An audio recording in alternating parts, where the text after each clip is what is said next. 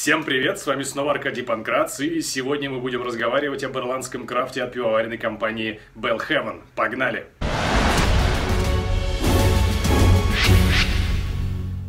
На первый сорт я наткнулся совершенно случайно, и было это в кофейне Лаваза. Ну, что в кофейнях обычно делают люди? Покупают кофе, покупают пирожные и сидят смиренно, их поглощают, употребляют и наслаждаются общением друг с другом. Но что делает Аркадий Панкратс, который не любит ни первое, ни второе? Правильно, Аркадий Панкратс всегда к месту или не к месту приобретает такой близкий и дорогой сердцу пенный напиток, который называется пиво. Итак, интергалактический сухой охмеленный лагерь. Тут используются три вида хмеля – Centennial, Columbus и Cascade. Прикол этого пиваса, как по мне, именно в раскрытии вкуса. Это еще нифига не ИПА, но уже далеко и не просто лагерь. Следом у нас будет ИПА скрученный чертополох. Этот пивас мне советовали в комментариях, поэтому, собственно, вот и он – Тут используется хмель Челленджер, Херсбрукер и Каскейд. Снизу на этикетке приписка «Смелый, горький, сочный». Было бы круто, если бы все оказалось именно так. Кстати, забавный момент. Вот этот вот самый пивас в 2014 году получает серебряную медальку на одном из старейших дегустационных конкурсов Европы, который называется Monde Selection. Это, знаете ли, такой международный институт качества, который был основан в 1961 году в Брюсселе. Примерно такая же тема происходит в Германии. Называется она DLG Pyramid, и о нем я рассказывал уже неоднократно в нескольких своих видео. Но как бы суть не в этом. Прикол в том, что в том же самом году, на том же самом э, конкурсе золотые медали получают аж два сорта от московской пивоваренной компании. Это хамовники Пельзенская и хамовники Пшеничная. Это серебряная, от московской пивоваренной компании золотую медаль. Такой вот забавный фактец. Что касается самой пивоварни Белхевен или Прекрасная Гавань, она считается старейшим независимым пивоваренным предприятием Шотландии с пискометром аж в 1719 год. Расположена на востоке от Эдинбурга в городке Дан-Бар. Про эту пивоварню уже дофига написано пространных текстов, поэтому углубляться в историю я нифига не буду, чтобы уныло вот тут вот торгую перед камерой своим красноватым лицом, не перебирать по датам основные моменты ее становления. Я более чем уверен, учитывая массовость данного продукта на отечественном рынке, что все уже давно прочитано и изучено. Но, дабы в моем повествовательном процессе не было некой такой дырени, я пока покажу вам ролик, приоткрывающий завесу таинства приготовления пива Bellhaven. Приятного просмотра! Шотландия – самая лучшая маленькая страна в мире, известная своими людьми, своими землями, своими водами и пивом Bellhaven. Основанная в 1719 году в городе Данбар, Северная Белхевен давно поняла прелесть сочетания солодового ячменя с чистой, естественно отфильтрованной водой, что течет из его источников. В Варочном цехе большая забота и внимание уделяется всему процессу пивоварения, начиная с растирания и варки, что дает уверенность в получении пива самого лучшего из возможных начал жизни. Каждое пиво тщательно проверяется и контролируется во всем для того, чтобы гарантировать его наилучшее состояние. После довольно бурного этапа пиво ожидает покой в состоянии брожения. Время, когда оно спокойно созревает, приобретает свою силу и характер, находясь при этом под пристальным наблюдением. Эли и лагеры Белхевен упаковываются после того, как пиво было разлито в чистые стеклянные бутылки, закрыто крышками и промаркировано на самой современной линии разлива. Небольшая команда высококвалифицированных и опытных работников обеспечивают качество и заботу первостепенные в пивоварне Белхэмон. Бутылки упаковываются в считанные минуты. Линии разлива кеги заполняются разнообразным пивом из ассортимента Белхевен, в том числе Белхевен Бест. Пиво покидает пивоварню на фирменных грузовиках Белхевен Брювери, чтобы отправляться в магазины, супермаркеты, клубы, бары, пабы по всему Объединенному Королевству и в другие страны. Экспортный рынок пива Белхавен растет среди потребителей по всему миру. Наслаждаются лучшими ингредиентами, сочетанием качества и нежной заботы пива Белхавен. Везде.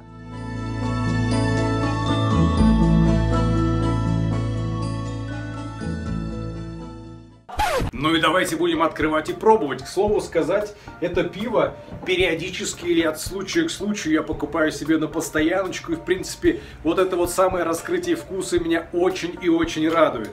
Давайте открываем и наливаем в маленькие бокальчики, которые я э, получил на Big Craft Day. Какой же, черт возьми, хороший, насыщенный, благороднейший цвет у этого пиваса. Пену я показывать не буду, потому что в данном пивасе пены нету. И смотреть э, бесконечно на полыхающуюся пелену, которая нежно, значит, колышется на просторах а, этой жидкости, ну, мне кажется, просто бесполезно. Давайте просто попробуем и заценим. Это такой вот освежающий взрыв лагерного вкуса, присыщенного хмелем который обычно вставляют в ИПА. То есть это почти ИПА, но это еще и не совсем ИПА. Это как-то такая средняя половина. Она не сильно хмелевая, но в то же самое время и не сильно сладкая, и не сильно нежная, что свойственно обычным лагерам. Тут прекрасная CO2, которая просто-таки пышет во рту, забивает всю его полость таким насыщенным содержимым. И вот это вот меня бесконечно радует. Я это пиво попробовал совершенно случайно, потому что оно было, можно сказать, единственным в ассортименте Лавазы. Там еще был Хайникен бутылка по 0.33, но как-то пить Heineken, когда есть еще Belhaven, было совсем неинтересно. Я заказал Belhaven. Заказал и прям, знаете, так прочувствовал весь этот вкус, прочувствовал всю его нежность такую пренебрежительную. Почему пренебрежительную? Потому что она все-таки перекликается с эпашкой, и назвать ее нежностью на все сто процентов у меня получается с трудом, но вот этот взрывной вкус меня прям зацепил, зацепил, и до самых пяток он меня пер, пока я пил одну бутылку, потом я пил вторую бутылку, третью, четвертую, и он ни разу меня не отпустил. То есть вот реально порадовал пивас. Я не буду вдаваться в переплетение всех хмелевых категорий, да, потому что вы, наверное, все их знаете, какие они, тем более, что я уже обозначил их в маленьком, э, так сказать, повествовании конкретно про данный пивасик, но вот реально они здесь сочтены таким образом, что пиво пить просто интересно, просто насыщенно, просто вы наслаждаетесь каждой ноткой. Ну, по крайней мере, я наслаждаюсь каждой ноткой в данном пиве. Оно ни в коем случае не тяжелое, ни в коем случае не перенасыщено хмелем. Оно вот прям вот такое вот, как вот лично я для себя представляю хороший и пашный лагерь, чтобы не цепляться за всю вот эту елку, а чтобы просто сидеть, пить пиво, наслаждаться CO2, наслаждаться градусом там в 5 э, по Цельсию и думать о вкусе, думать о насыщенности, который дает данный сорт.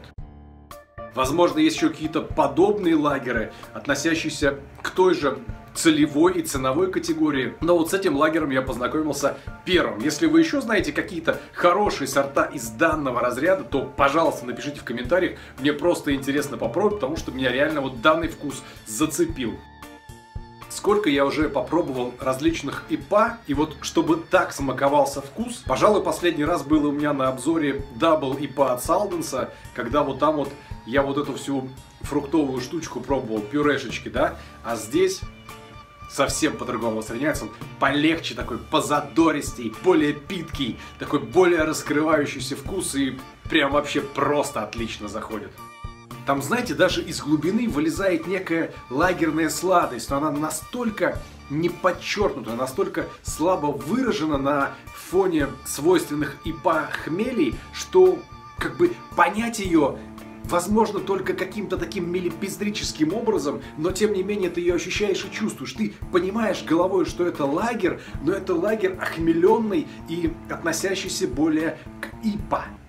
Вот так вот. И настолько здесь все сбалансировано, черт возьми, что мне прям вообще заходит отлично, приотлично. В общем, резюмируя, что еще хотелось бы добавить. Если вы еще не попробовали Intergalactic Dry Hop Lager, то мне кажется, это надо сделать по двум причинам. Причина номер один. Просто потому, что мне интересно ваше мнение. Если вы опишете его в комментариях, мне будет только плюс в карму. Причина номер два. Причина номер два заключается в том, что это просто замечательный образчик своего, так сказать, сорта, и его просто-таки приятно пить и приятно им наслаждаться, учитывая определенный градус по Цельсию, и вы получаете прям мощнейший заряд энергии, мощнейший заряд э, охмеления, который бьет прямиком в мозг, который по нему расползается, и вы получаете огромнейшее удовольствие. Ну, по крайней мере, я его получаю.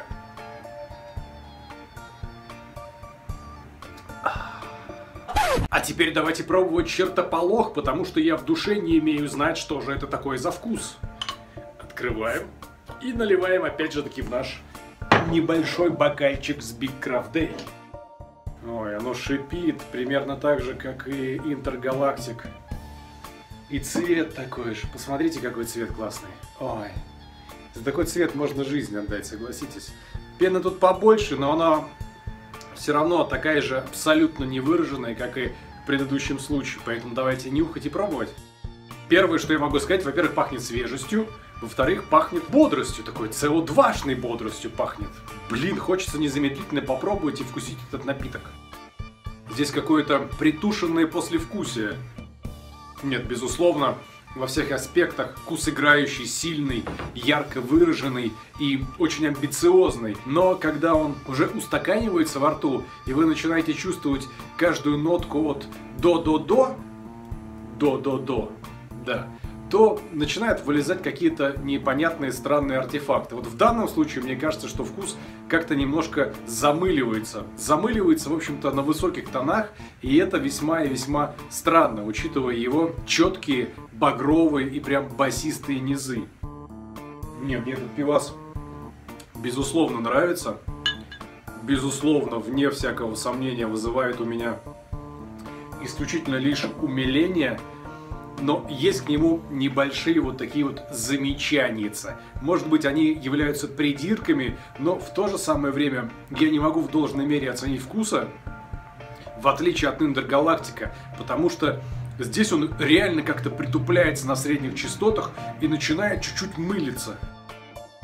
Похоже на то, как будто вы сидите в камерном зале, слушаете классическую музыку, и весь оркестр играет слаженно, четко, сильно, красиво, но какая-то скрипка, сидящая вот где-то вот там вот в углу, чуть-чуть, чуть-чуть прискрипывая фальшивит. Но при этом я понимаю, что бабки заплачены не зря, пиво сильное, хорошее и звучит прекрасно, и струнится по сосудам твоего организма прекрасно, но в каких-то децибелах заваливается, проваливается.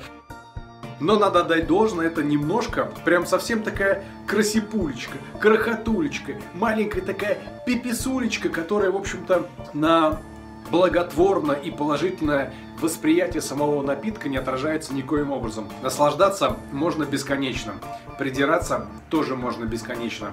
Но обобщая, обобщая все сегодняшние представленные сорта, мне, в общем-то, по сути своей дико-дико понравились. Драйхоп Лагер особенно. Твистед Депад проигрывает, но тоже в принципе ничего. Поэтому не будем на этом зацикливаться, а просто допьем данное пиво до конца.